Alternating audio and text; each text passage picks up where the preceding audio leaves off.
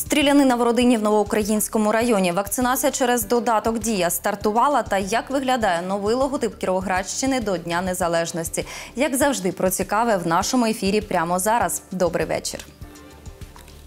Стріляв у власних дітей та дружину з мисливської рушниці чоловік у селі Захарівка Новоукраїнського району. Вогонь відкрив у дворі приватного будинку. Чоловік був на підпитку, погрожував розправою своїй жінці, трьом дітям та поліцейським, що прибули на виклик. Правопорушника затримали та вручили підозру.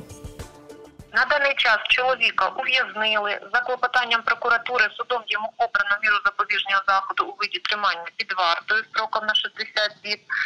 За хуліганство та за замах на життя працівника правоохоронного органу е, чоловікові загрожує від 3 до 7 років ув'язнення. Наразі триває слідство.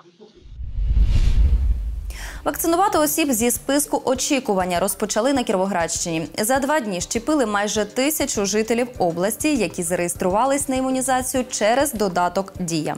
Вони отримали вакцину Коронавак виробництва Сіновак Біотек. Нагадаю, педагогічним та медичним працівникам проводять імунізацію вакциною Pfizer.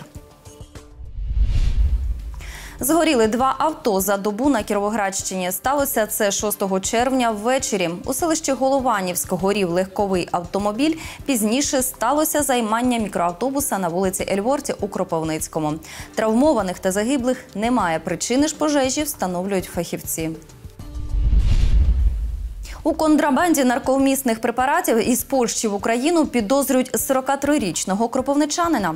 За даними слідства, товар чоловік доставляв через митницю рейсовим автобусом, маскуючи його під продукти.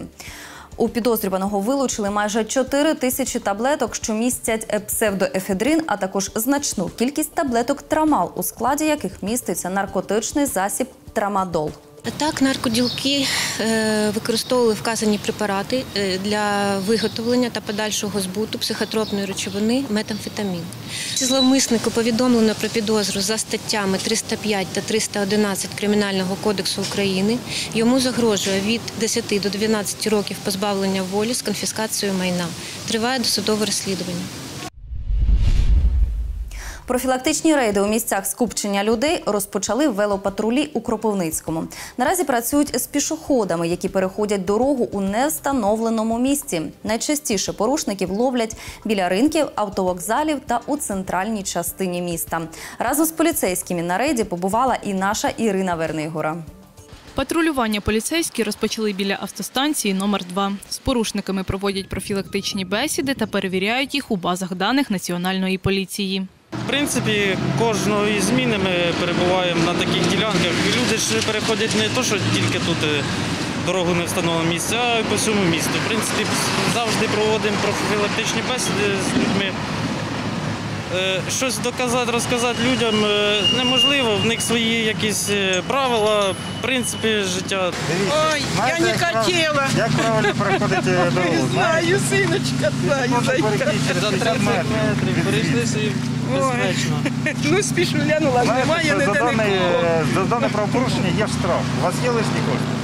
Ти, Немає. Все, що обходьте по правилам, дорожнього руху. Переходьте дорогу. Добре, більш не буду, їду. На тих, хто не вперше порушує правила, складають протоколи. За два з половиною місяці за порушення правил пішоходами у невстановленому місці патрульні поліцейські склали 71 протокол. Щоденно патрульні поліцейські працюють для того, щоб знизити рівень аварійності на дорогах міста Кропивницького та області.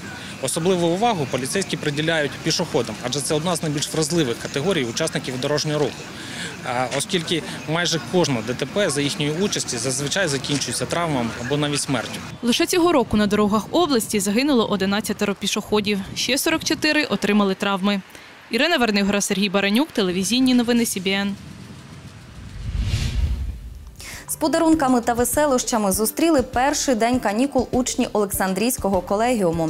Обласний благодійний фонд захисту дітей Логос влаштував для них свято з різноманітними розвагами. Окремо відзначили талановитих дітей, які проявили себе у навчанні, спорті чи у шкільному житті протягом навчального року. Їм вручили подарунки, а всі учасники заходу отримали позитивні емоції.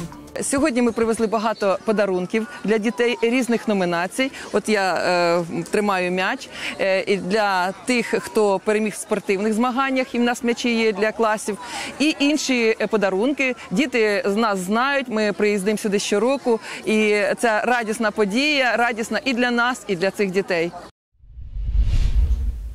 Калейдоскопічну квітку логотип до 30-річчя незалежності отримала Кіровоградщина. Як повідомила голова облдержадміністрації Марія Чорна, символ з графічними елементами та кольоровою гамою прапорів передбачені для кожної області України. Квітка логотип для нашого регіону виконана в малиново-жовтих кольорах. На листочках зображений скіфський орел. Емблема вважається символом великодушності та справедливості. Єднаймося, незважаючи на унікальність кожного, і такі символи нам в допомогу. А ми далі говоримо про погоду. Зустрічайте мою колегу Марію Тарасенко з прогнозом. Я ж бажаю всім затишного вечора.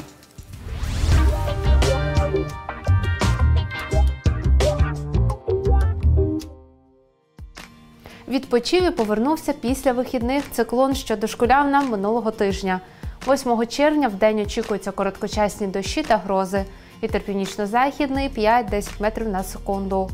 По області температура повітря в день становитиме від 18 до 23 градусів тепла, вночі 10-15 із позначкою плюс.